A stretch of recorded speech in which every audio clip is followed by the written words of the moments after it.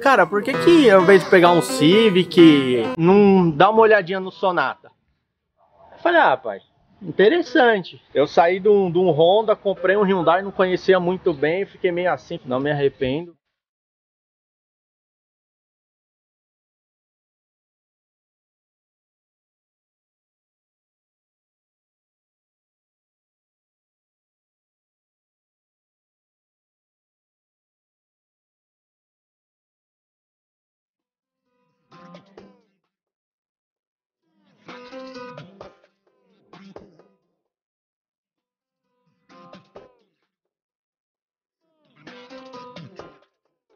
E aí galera, tudo bem com vocês? Seja bem-vindo ao canal do O Entusiasta, tá?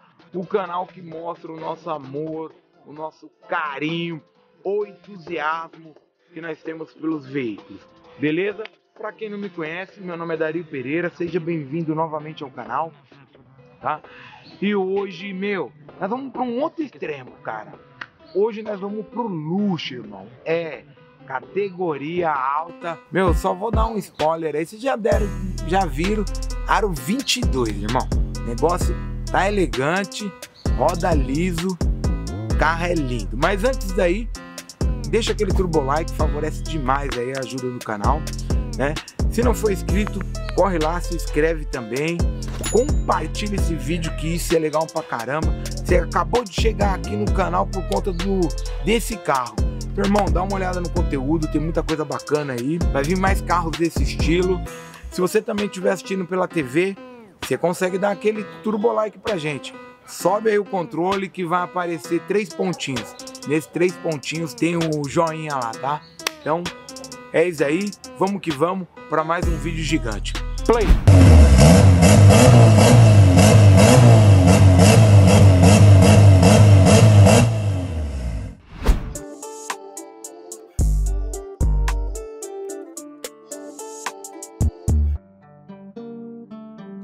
E aí galera, como eu falei, olha essa nave. Essa nave aqui é do nosso amigo Guilherme. E aí, Guilherme? galera?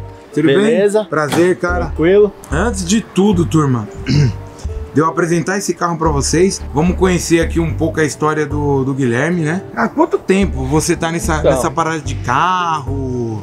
Então, eu tô com esses negócios mexer em carro já desde moleque, desde os 18 anos, 17 na verdade, né?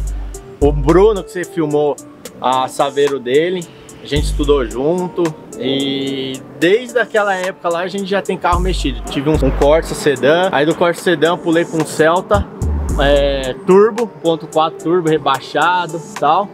Aí depois eu acabei casando, comprei um Civic, montei na, nas 20, um Civic 2012. Aí acabei me separando, aí nisso o Civic acabou ficando com ela. O que, que eu fiz? Eu, eu tava procurando um outro Civic para comprar, que eu tava com as rodas lá guardadas, tudo.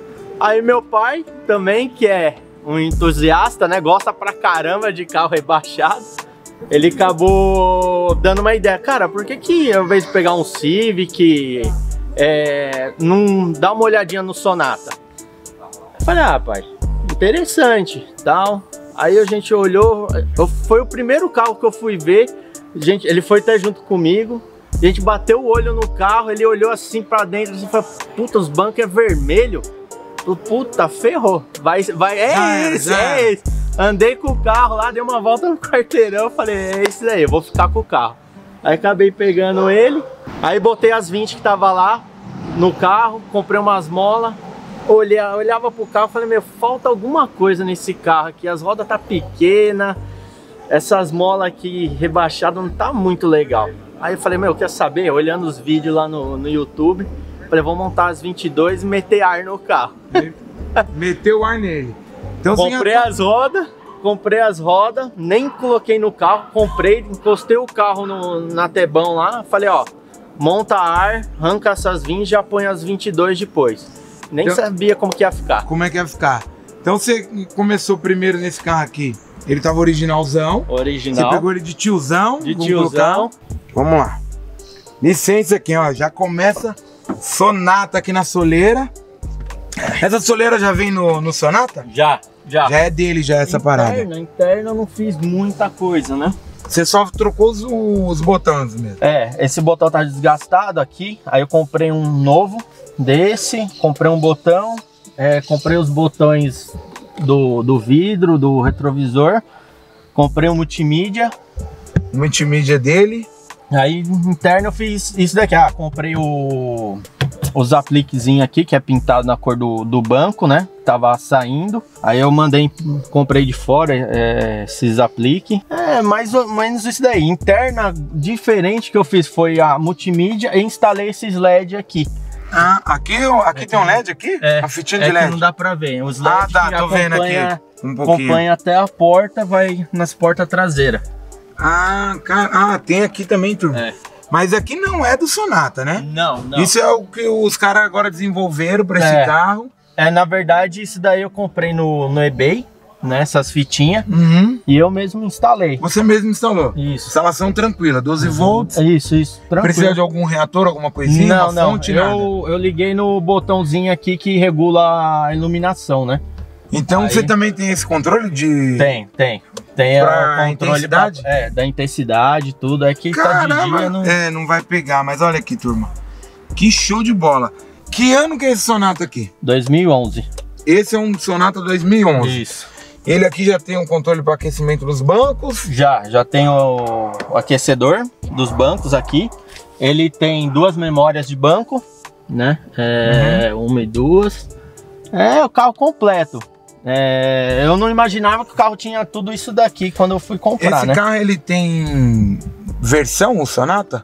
Ele tem alguma versão? Não, não, aqui, lá fora ele tem. Tem, acho que até a, desse ano tem a 2.0 turbo. Né? É, lá fora tem. Aqui só veio essa versão só. Só essa versão. Que é a mais completinha. É, o teto, ele é bipartido, né? É. Ele tem uma separação aqui. Meu, e fica bem claro o carro, né? Qual é o motor dele? 2.0? Não, é 2.4 16 válvula. 2.4 16 válvula. 180 É, para carregar esse, esse peso aqui tem é. que ser um motor... É, ele de saída assim é um pouquinho, ainda mais com as rodas 22, ficou um pouco pesado. Aí até ele desenvolver, mas na estrada depois ele que ele embora. desenvolve, vai tá embora. Bom. Seis marchas, tá, vai embora. Vai embora.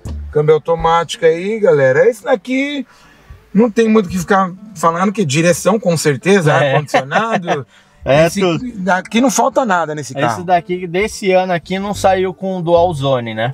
Ah, o ar-condicionado dual zone. É. O carro é confortável, é grande, espaçoso. Meu, é o banco, pra... cara, nossa.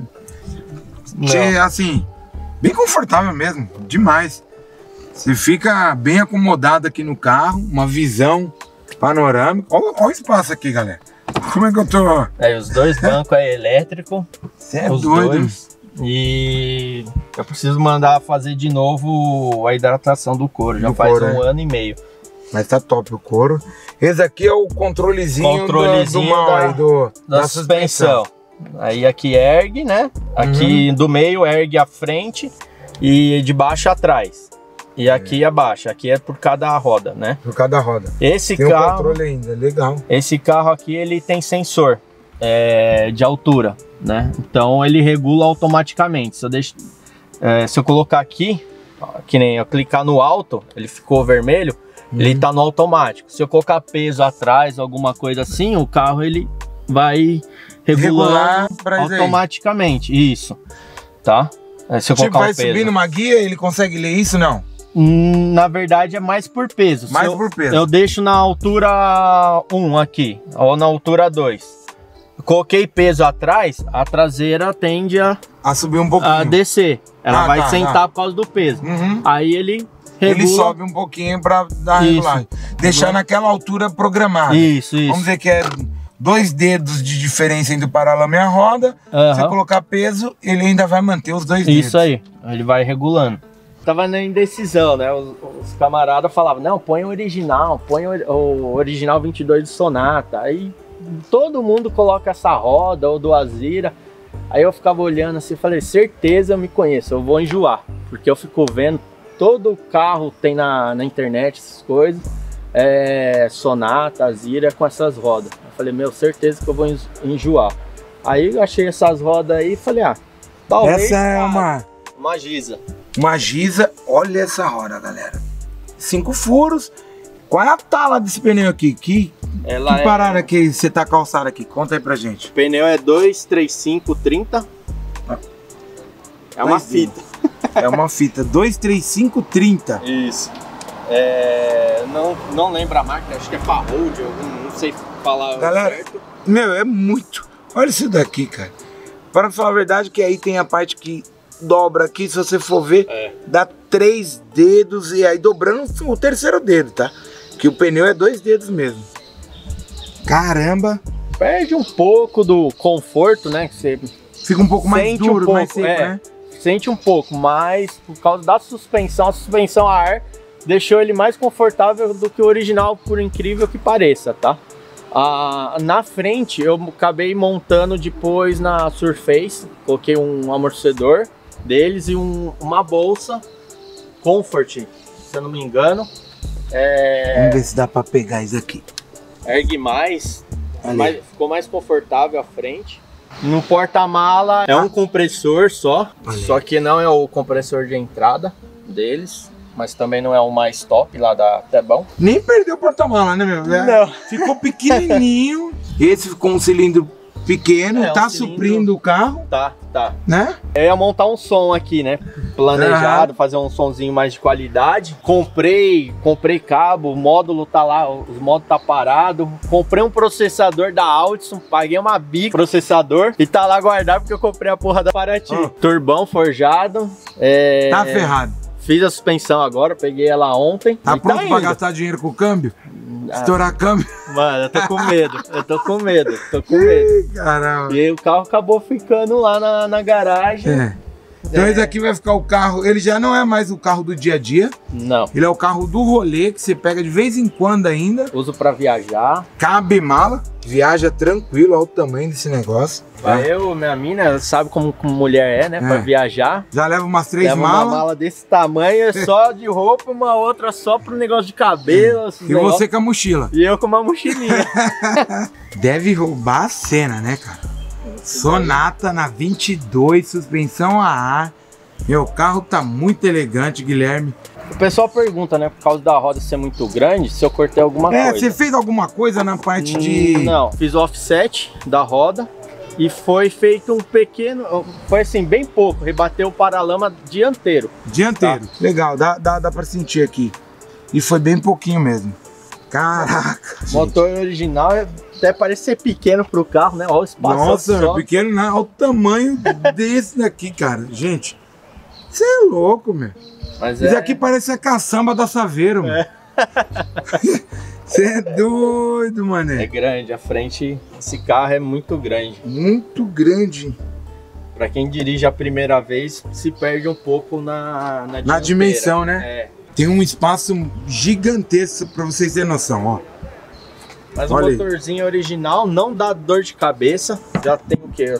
Tem esse carro uns 4 anos. Eu saí de um, de um Honda, comprei um Hyundai, não conhecia muito bem, fiquei meio assim, falei, puta, vou comprar um carro desse porte aí, eu não sei como que é a manutenção. Não, o carro tem 4 anos, não me dá dor de cabeça. Então não se arrependeu. É, não, não me arrependo. Momento algum Eu se falo pra arrependeu. todo mundo que o carro é espetacular. Manutenção, por incrível que pareça, mais barata do que um Honda Civic. O óleo, na época, do Honda Civic era mais caro que esse. O seu pai também curte carro rebaixado? Curte, meu pai até um, ah, uns 4 anos atrás, 5, ele tinha um estilo zero, rebaixado, roda aro 20, som, tudo. Agora a moda dele agora é dar rolê de moto. Mas ele adora carro. É, eu comprei a Paraty sem ele saber ainda. Ele Vixe, cheguei, pai, louco." comprei uma Paraty. Não, agora ele já sabe. Ele falou, puta que pariu. Ele deve pensar, mano, o que, que esse moleque tem na cabeça, né? Ficar arrumando essa sarna. É. Agora ele fica me mandando foto de Paraty, de Saveiro, de Gol, fica mandando lá. Nossa, olha essa daqui que da hora, olha isso. Aí ele, ele me apoia, isso que é legal, né? Ele me apoia. Esse carro aqui eu montei, eu comprei e falou, "Vê, meu, vê se não mexe, não tem muita coisa É. pra fazer no carro. Aí eu cheguei um belo dia com as rodas 22 na ar. Caramba. Aí ele olhou assim e falou, meu Deus do céu, você não tem jeito mesmo. Vitrifiquei, né? O produto que eles usaram aqui foi o Sonax. O Sonax. Isso. Você curtiu? Gostei, Bacana? gostei. É, dá brilho, é carro é prata, né? Não dá uma É. certa profundidade, igual um carro escuro, tal, é, mas dá um brilho legal. É um brilho Dá um, bacana. perto do que era, puxou muito o brilho. Você pode ver pelos vincos assim, nos vincos. É, os vincos dá pra- dá pra- que do brilho. Galera, é um carro impecável, lata é top, o carro tá top, vocês não estão vendo aí nos takes. Guilherme, parabéns. Valeu. Obrigado por apresentar esse É seu nóis. projeto aí, irmão. Vamos ver se a gente traz a Paraty depois, que eu dar um. Vamos, Dá um- vamos conferir essa baratice de perto, hein? Bora, bora. Sonatão, Aro 22, suspensão a ar. Compartilha, comenta. Quem tinha dúvida, dá certo. Aro 22 na suspensão ar. Meu, carro top. Não tem Luxo. muito o que falar, fazer é, roda, chão e já era. E já era. era. E rodagem. E rodagem. Mano, aí mais um entusiasta, um entusiasmo é fera. Vamos colocar um adesivo aí, hein? Bora, Bora? bora, fechou. Então, beleza. Então vamos que vamos pros próximos vídeos. Play!